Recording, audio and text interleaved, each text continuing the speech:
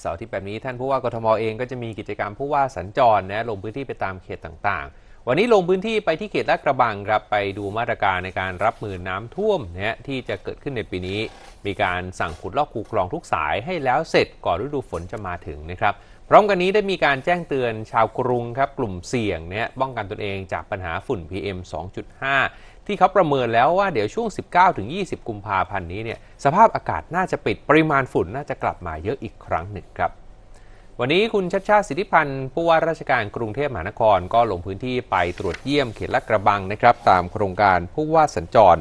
ก็มีการปลูกต้นไม้ครับต้นทองอุไรนะครับปลูกร่วมกับเจ้าหน้าที่ และผู้คนชาวเขตลาดกระบังที่มาร่วมกิจกรรม สร้างพื้นที่สีเขียวให้กับกรุงเทพ แล้วก็สร้างกำแพงป้องกันฝุ่นกว่า 500 ต้นนะครับ ผู้ว่าชัดชาติบอกว่านะฮะได้พูดคุยภายหลังประชุมรับฟังปัญหาน้ำท่วมของเขตลาดกระบัง แล้วก็ภาพรวมเรื่องของฝุ่นในกทมเนี่ยบอกว่าปัญหาหลักๆ ของลาดกระบังเนี่ยเนื่องจากว่าลาดกระบังเป็นเขตที่มีพื้นที่ใหญ่เป็นอันดับสองของกรุงเทพ มีประชากรหนาแน่นเป็นอันดับ7นะครับทำให้มีปัญหาเรื่องของถนนครับที่มีอยู่จำนวน 673 ซอย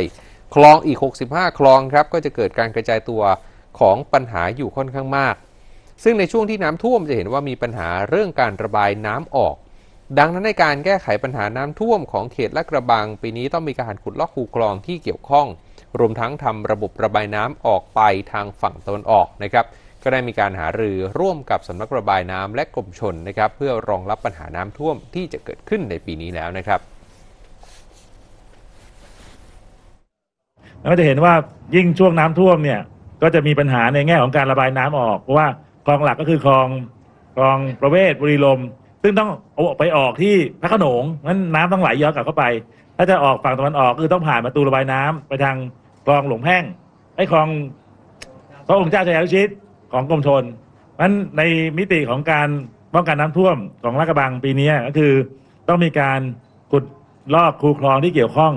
รวมทั้งทำระบบระบายน้ำปัญหาเนี่ยคือการขุดลอกขุดลอกท่อตอนนี้ก็มีความล่าช้าอยู่ เนื่องจากว่าทางกรมราชทัณฑ์เองอาจจะมีปัญหาในการเรื่องเตรียมคนมาทำการขุดลอกให้เรา ก็ได้ให้สั่งการว่าถึงแม้ว่ากรมราชทัณฑ์ทำไม่ได้ก็ต้องหาเอกชนมาทำเพราะว่าเราไม่สามารถไปรอกรมราชทัณฑ์มาขุดลอกได้เพราะฉะนั้นก็ให้ให้สรุปว่าสิ้นเดือนกุมภาเนี้ยที่เราทำเป้าหมายไว้ถ้าไม่สำเร็จกับสัญญากรมราชทัณฑ์ก็ต้องหาเอกชน แล้วก็กำกับเรื่องคุณภาพให้ดี